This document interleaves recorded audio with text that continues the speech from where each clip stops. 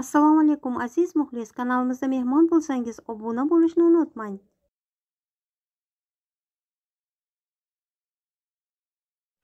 Assalomu alaykum birodarlar. Zararsiz semirmoqchi bo'lgan insonlar uchun best trenirovka semirmoqchi bo'lganlar uchun samyunvan red jenshin jenshin mahsulotlarini taklif qilamiz.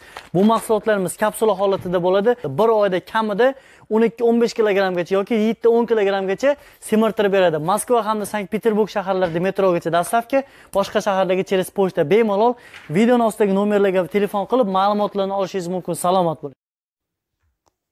Assalomu alaykum aziz muxlis. Zaxarova rossiya bilan aloqani uzish markaziy osiyo davlatlariga qimmatga tushishini aytdi. Markaziy osiyo davlatlari rossiya bilan aloqalarni uzishi g'arb sanksiyalaridan ham yomonroq oqibatlarga olib keladi.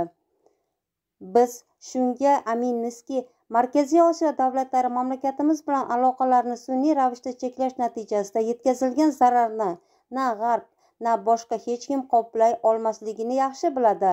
Hamkorlarimiz mamlakatimiz bilan aloqalarni to'xtatishdan ko'rish mumkin bo'lgan yo'qotishlar ikkilamchi sanksiyalar ta'siridan ko'ra anchagina ko'proq bo'ladi. Diplomatning ishonishicha qozog'iston qirg'iziston tojikiston turkmaniston va o'zbekiston do'stlik yaxshi qo'shnichilik o'zaro hamkorlik rishtalariga va tarixiy umumiy ildizlarga sodiq qoladi.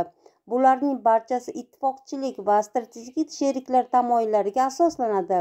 Shu bilan birga zaxarova rossiya markaziy osiyo davlatlari bilan sheriklik munosabatlarini izchil mustahkamlashga qaror qilganini ta'kidlab o'tgan.